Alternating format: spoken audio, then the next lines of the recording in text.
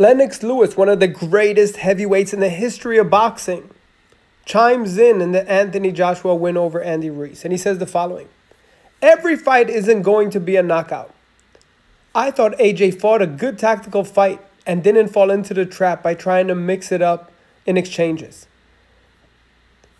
This was a good addition to his experience. He also wisely unpacked his jab for this one. So Lennox Lewis liked what he saw from Anthony Joshua. He liked the fact that Anthony Joshua was boxing.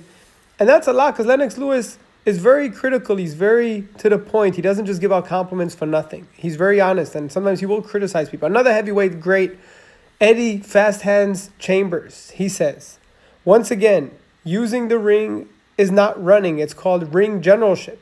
Eddie Chambers, a great boxer himself. That's what Joshua used against Ruiz. Might be boring to watch for casuals, but it's part of the sport. That's why people complain about Rigondeaux and Lara and other boxers, but it's boxing. It's not called knockout. And yes, everyone wanted to see a knockout in exchanges, but Joshua wanted to win. So he won, he got his belts back, and now he changed his whole life's history of his and his family, his legacy.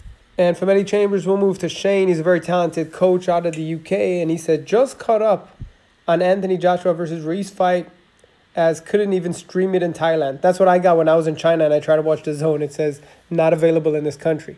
But Shane goes on to say, good solid performance. He tweaked what was needed to be changed and showed everyone his mental strength. That is true. They said he was out of it. Top work from all involved.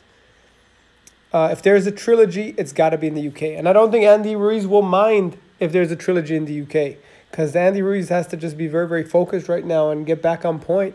The climbing up is very hard, but it's possible. Andy, Andy Ruiz, Anthony Joshua did it. You could do it too. Uh, Abner Mares, morning. Okay, let's talk about yesterday's fight. Ruiz Joshua 2. I'm one that respects great boxing, and I believe that's what Anthony Joshua showed last night. People that don't know anything about boxing will call it running. Let's give Anthony Joshua credit for perfecting his craft and getting his belts back.